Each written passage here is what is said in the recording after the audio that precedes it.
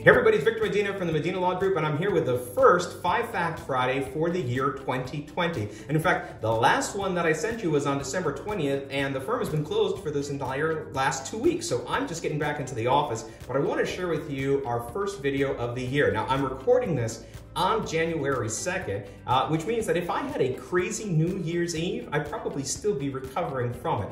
The truth is, I didn't. My wife and I, we're not crazy party people, so on New Year's Eve, all we did was spend a nice evening with her cousin, his wife, their daughter, who's about two and was gonna get up early the next day no matter what. Uh, we finished up early, went to bed. I'm sure the ball dropped. I just wasn't there to see it. Never been my thing. But if you'd like to know how the rest of the world celebrates New Year's, I've included a series of links, a link where I show you the way that other people do that.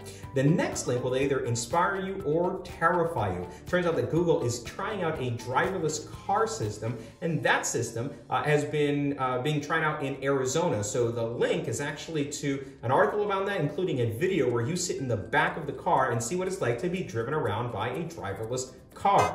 Maybe you're interested in that kind of thing. Maybe you're a little frightened. Check it out and see.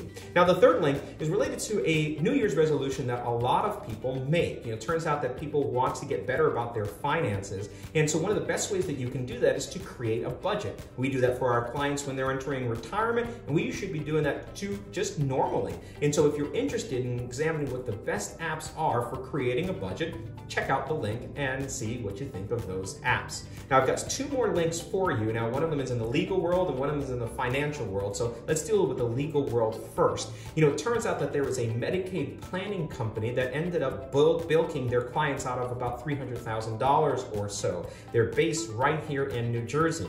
Now, it turns out that if you are doing Medicaid planning and giving legal advice, that's actually the unauthorized practice of law. It's a criminal act if you're doing that. But this company wasn't even going that far. They were just taking money.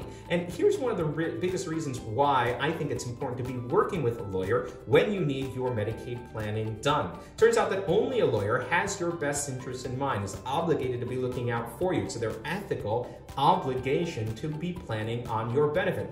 Medicaid planning services, all they need to do is just make money. That's just, they're a profit thing. So turns out that this company ended up stealing money from people and uh, that's not good. And so what I want to recommend for you is, I think they're shut down, but if you're ever given an opportunity to work with either a Medicaid planning service or working with a lawyer, you should work with a lawyer. And of course, I think you should work with the Medina Law Group. In fact, if you're uh, dealing with any long-term care issue, if you're in a facility right now, or if you know of somebody that's in a facility, best thing they can do is reach out to us and schedule a planning session to see how we might be able to help them with their planning and save their assets. And the way you do that is, of course, you contact the law firm at 609 818-0068 and schedule an initial consultation. All of our initial consultations are at no charge. Now, the last link is actually a repeat of what I did on December 20th because I think it's so important. And I'm including a link talking about the Secure Act. Now, if you didn't watch the last video, the Secure Act is the newest law that allows us, uh, that changes the way the inherited IRAs are going to be taxed going forward. So it used to be that you could leave behind your IRA and then your kids would be able to stretch it out for their entire lifetime.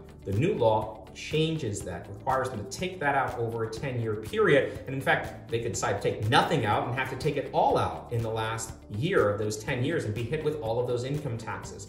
What does it mean for you? Well, it means that your estate planning and your financial planning probably needs to be updated because, of course, this law didn't exist when you first set it up. So what we're doing is we're creating a series of webinars, including two in-person seminars here in our offices, and those are going to be of limited uh, size. In other words, there's going to be limited seating off of that um, in later January, and we're trying to share this information out as widely as possible. So what I'm going to recommend for you is that you click on the link that's included and contact us so that you can either attend the in-person seminar. Remember, it is limited seating. We just we don't have a big, very big classroom, so uh, it just turns out that we can only have a limited number of people. But um, or you can schedule on for one of the webinars, and we'll be advertising those widely as well. I think this is probably one of the biggest uh, changes to the planning landscape, at least in the last 10 to 15 years. So you need to stay on top of this and really learn how your plan has been affected, what you need to do to change your planning, and how you can help avoid some of the negative income tax consequences